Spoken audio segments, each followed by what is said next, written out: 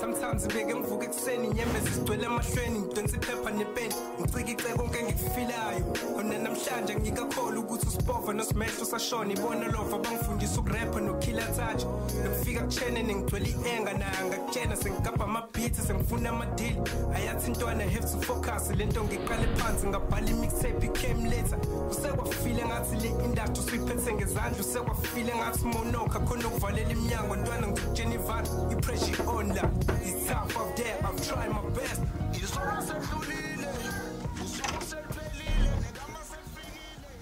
Selifikile Haw. Bro, khamba kahle. Sure, khamba kahle. Buka phela. Angibole kumbese mfethu yazi ngifuna ukusika le ntambo le. Oh, ah, ah, okay.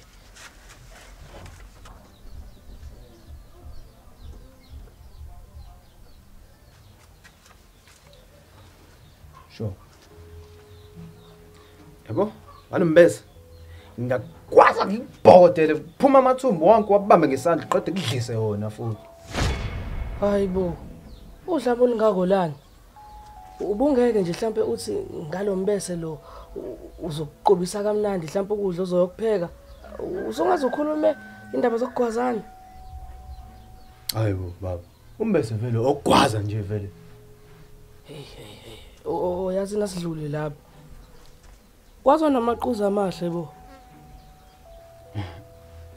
Yabo mfana wami, ngaleli quzu. Ngiyakhahlela kuphume wonke ufront line mngani wami wacoshe phansi. Yes. Hlule ngisho udokotela ukwafaka la okufakela. Ngiyakutshela ke wena. Kuze kukhishwa no Frontline nje kwenze njani? Hayibo. Hey baba, phela iqhuzu liqinile.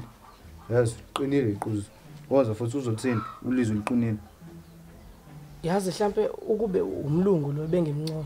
Ubezothi hey leli iquzu liqinile liyangisiza ukuthi uma kuyi blocks lingangilimazi noma athi njengoba kubusika nje liyangiprotect ukuthi ngingagodoli. Ubengeke akhuluma indaba yo Frontline abakhishwayo abawaphansi.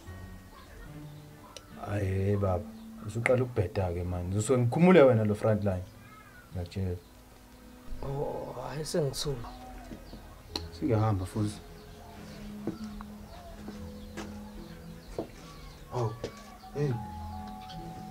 Lesitolo siqine kanje? hawu mfethu. Yazi ngalula kanjani nje mfethu? Uthi mase ufuna ukuyiqashula. Gibele kusona nje kamnandi kanje. Yabo? Yabo? Uyolusa amatata. Yabo?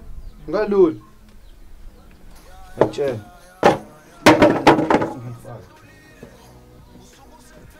Abantu basenangoma kanjani? Ulwele sasala kuyeka abanemanga uthathe yakhe inkambi zolo sedlulile usuku sephelile nekamba sefikile. Thathe zakhe ikhanda ushone empinwe ezakhe ikhanda ushone